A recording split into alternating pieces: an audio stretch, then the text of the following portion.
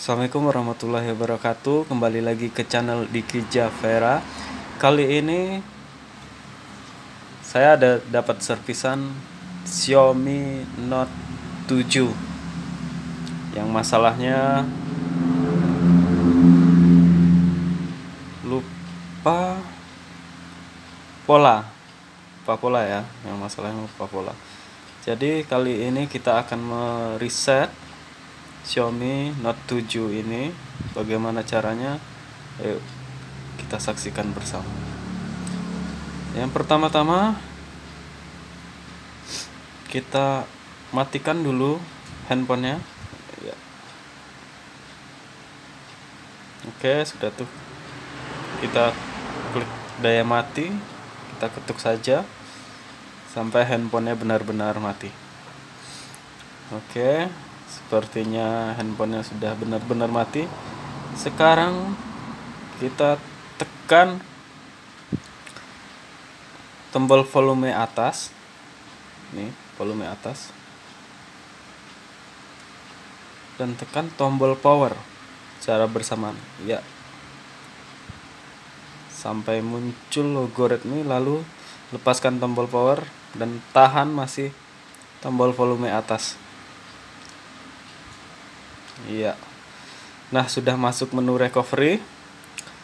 Selanjutnya kita pilih volume bawah untuk menggeser ke bawah dan kita pilih web data dengan menekan tombol power.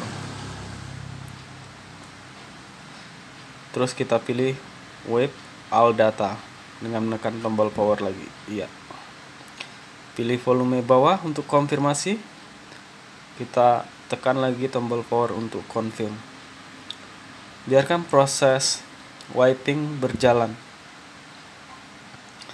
Oke sepertinya udah selesai. Kita tekan tombol power. Kita pilih reboot saja. Reboot sistem. Nah handphone akan restart dan akan masuk ke menu seperti tampilan awal lagi proses ini makan waktu agak lumayan lama.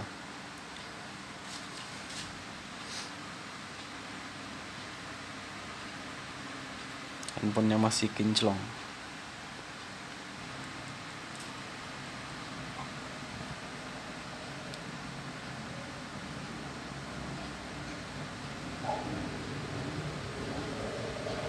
Ya teman-teman sepertinya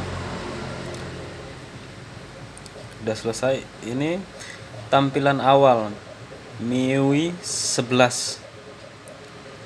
oke kita tekan tombol lanjutkan pilih Indonesia. Terus pilih selanjutnya. Pilih Indonesia lagi untuk lokasi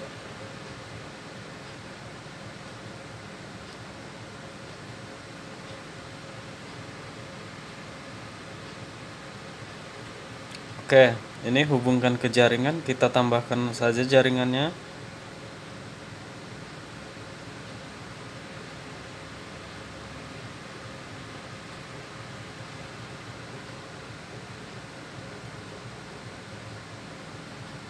Kita masukkan kata sandinya.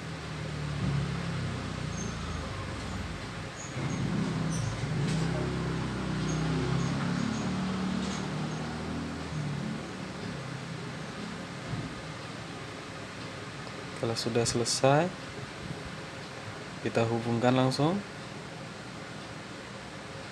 Oke udah terhubung. Kita tekan lanjutkan. Di sini saya syarat dan ketentuan kita checklist. Terus lanjutkan lagi. Untuk memeriksa kartu SIM kita lanjut. Memeriksa update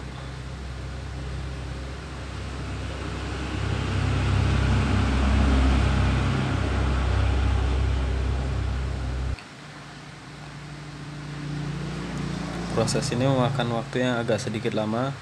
Jadi kita harus bersabar tunggu aja ya.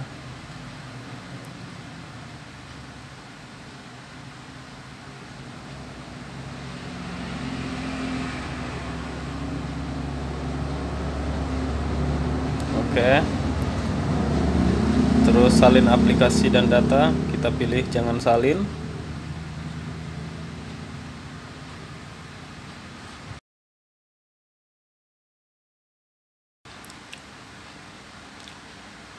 ya ini akun Google kita pilih lewati saja. Lewati. Kita pilih lainnya lainnya setuju. Masuk ke akun Mi kita lewati saja. Lewati. Kunci layar lewati juga. Kita lanjut terus pilih tema.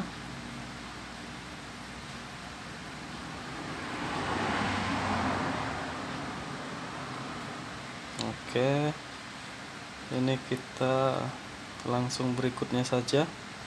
Nggak perlu diinstal pengaturan selesai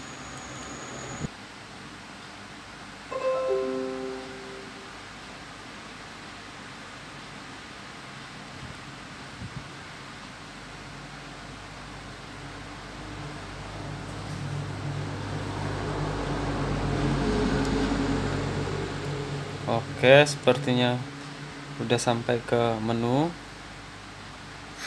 Ini tahapnya udah selesai. Jadi udah sempurna, perfect. Thank you, terima kasih.